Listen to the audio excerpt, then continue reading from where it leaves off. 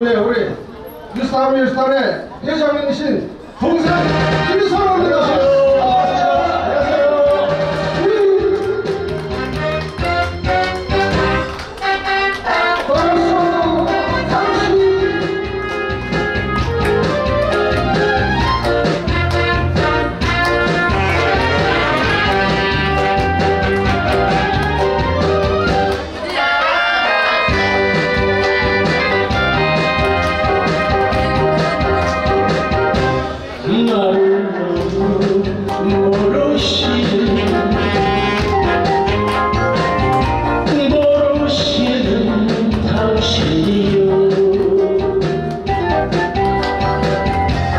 should